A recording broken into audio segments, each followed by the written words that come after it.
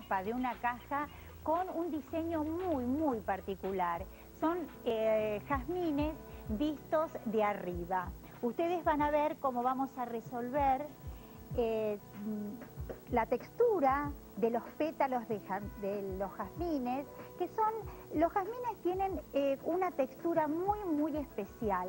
Es como que son bastante mm, duros, pero a su vez hace como una especie de doblez, un doblez también muy especial y van a ver también la paleta de color.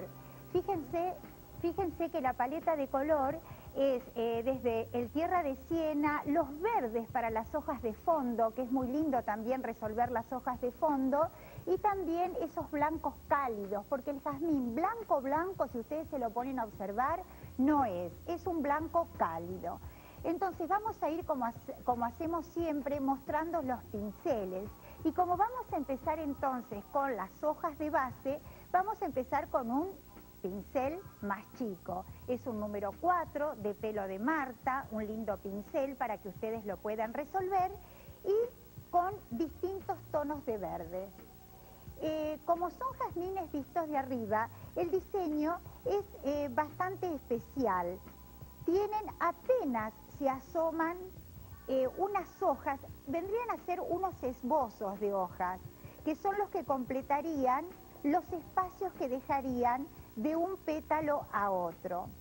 Los tonos de verdes variados. Ustedes pueden eh, comenzar con un verde mediano y después tonalizar en algunas áreas con tierra de sombra tostada o tierra de sombra natural para que ustedes eh, puedan obtener distintos valores de verde y así el trabajo entonces queda más completo, más enriquecedor.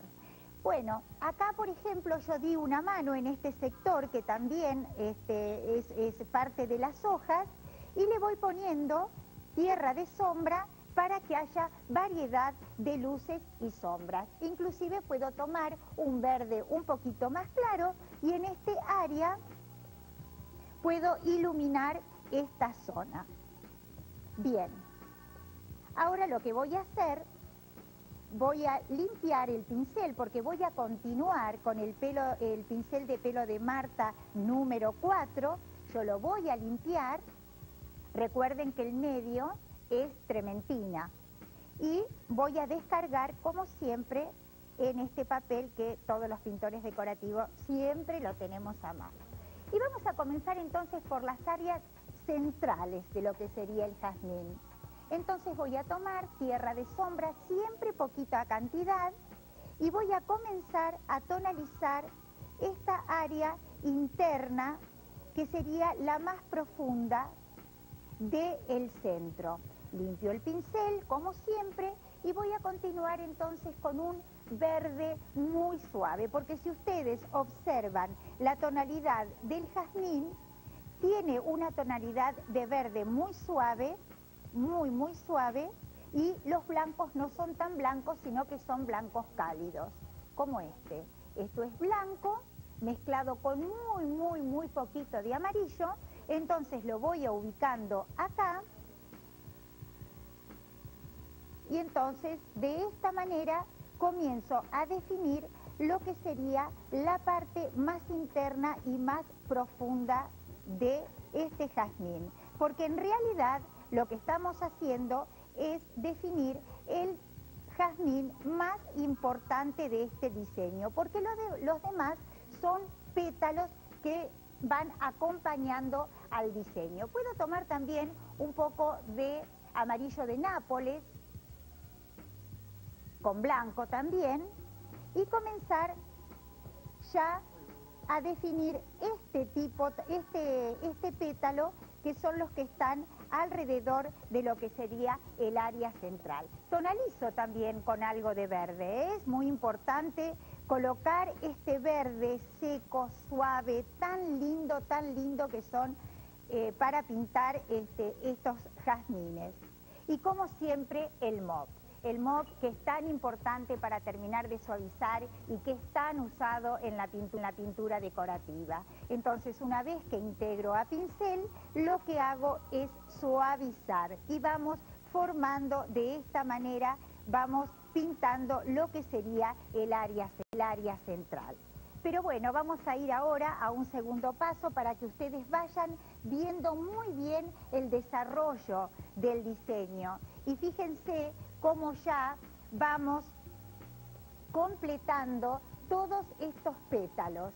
En este caso, seguimos con este, este otro pétalo. Fíjense que marco la nervadura central, continúo con la misma paleta de color, voy poniendo algo de verde y le voy marcando y esbozando lo que serían esos dobleces medios duros que tienen los eh, pétalos de jazmines.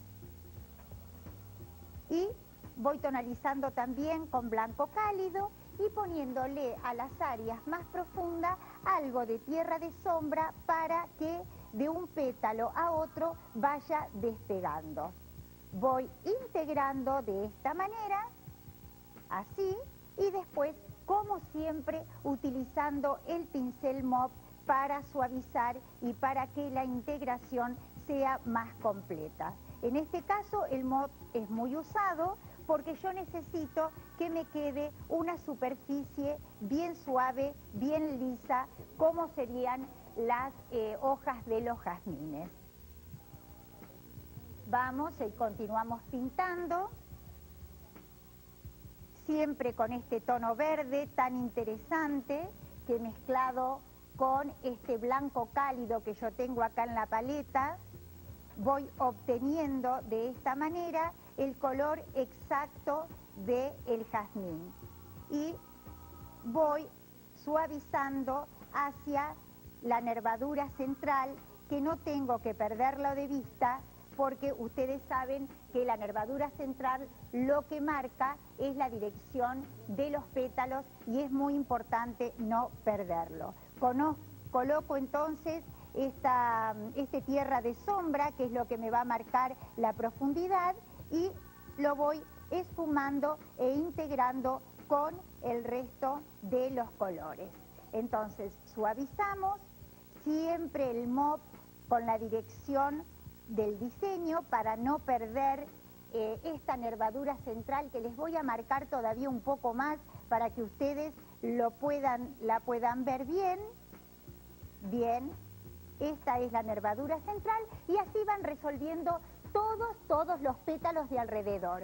Y para terminar, les quiero mostrar ya el trabajo prácticamente terminado con todos los pétalos y también los que les quiero decir que esto es una caja de mucho uso, con lo cual ustedes van a proteger con barniz semimate y les van a dar un terminado especial, lo van a poder usar y disfrutar. Así que ahora vamos, estén atentas porque vamos con la lista de materiales.